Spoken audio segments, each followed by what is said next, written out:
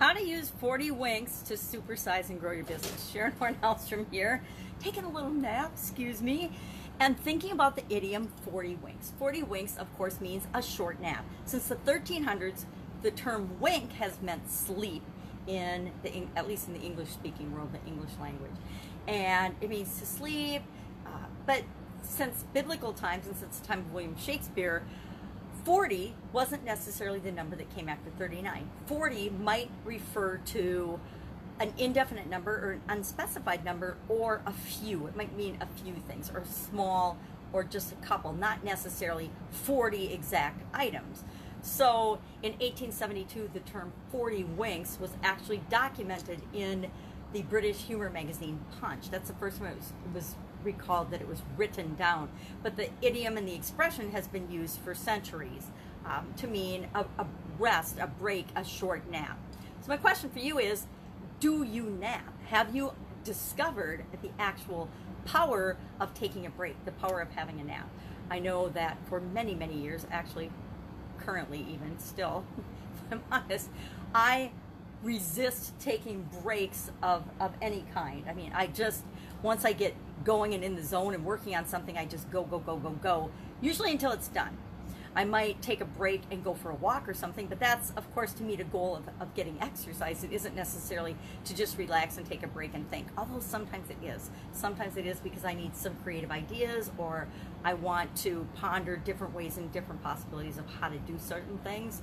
Uh, but I haven't really personally experienced the power of the nap, the power of the break. For decades, I resisted vacations and sick days. I think that in 20 years, 25 years in corporate America, I was I was out of work because I was sick maybe one day, maybe two. Oh, I did have kidney surgery once, so I guess that counts as being sick days and out of work, but it was I was so out, I, I don't remember being out. Uh, for the most part, though, I was one of those people that would go to work even when I was sick. So during COVID, I would have been fired because I would have I, I wouldn't go to, to work with COVID. But I mean, if I had a cold or something, I'd isolate myself in my office, but I'd still be there working away, and that wasn't necessarily healthy for me or for other people. Certainly not for me. And I, I was productive, but definitely not as productive as I normally would be. So I yeah, I was actually one of those people that felt guilty no matter where I was for a couple of decades. It was like if I was home with the kids, I felt guilty I should be doing more work.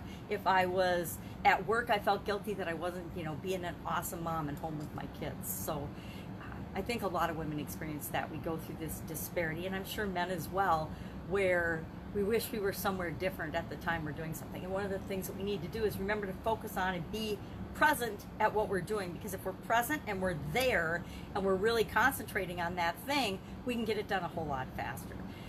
Well, this week I have already decided that I am going to test out the power of the nap. A lot of people have told me that taking a break and literally closing your eyes and resting for 20, you know, 15, 20 minutes during the day, which is a short nap, even 10 minutes, gives them an increased sense of energy and excitement and creativity and just a boost for the rest of the day. So, like a lot of people, I have that afternoon slump and I usually just power through it or have some coffee or used to drink a lot of diet pop to keep me going during the day, but I usually have a coffee or something, or I, I do something that gets my brain going and gets stimulated again, so I work through that little slump.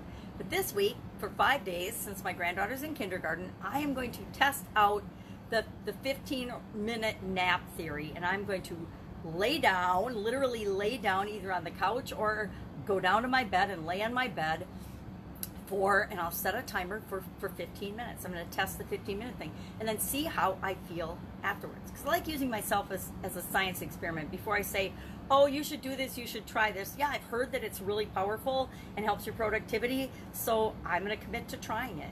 I would love if if you try it right along with me. If we find a way and find a time during the day, and I'm going to pick the same time every day. I say uh, probably two o'clock. I'm going to say two o'clock from 2 to 2.15 i better check my schedule before i commit to that make sure i don't have 2 o'clock appointments but from 2 to 2.15 i'm just going to shut down and then see how i feel at like 2.15 2.30 see if i'm recharged see if i'm re-energized see if it gives me the benefits that napping is purported to give us. I mean, look what a great job it does on our kids. I don't know about you, but I remember the days that I couldn't get my kids to take a nap, and they were not awesome to deal with by evening time if they didn't have their afternoon nap. Now, of course, they outgrew that, but I think there's something really powerful about sleep. I know that some of my best ideas have come to me, and some of the best solutions to problems I've ever had have come to me when I'm sleeping. So why wouldn't that work the same by just having a little power nap during the day? So I'm going to test that out today. I invite you to join me. That's 40 Winks. 40 Winks is just taking a break and the impact, the positive impact it can have on you, your health, your energy, and therefore on your business as well.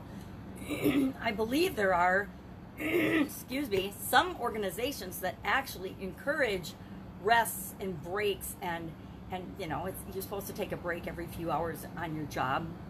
But since i haven't had a job for a long time i'm not sure what the rules and regulations and the laws are anymore.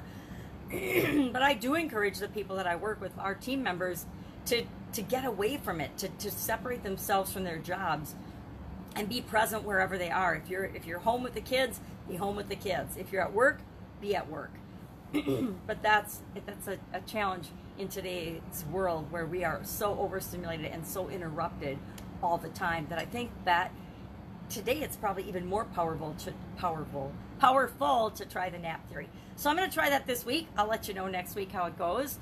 I in- invite you to have 40 winks today. It's a holiday here in the United States. Try try the 40 winks thing and let's see how it works for you and for me as well and how it impacts our businesses. Go out, have an awesome day. I'll have a clearer throat tomorrow.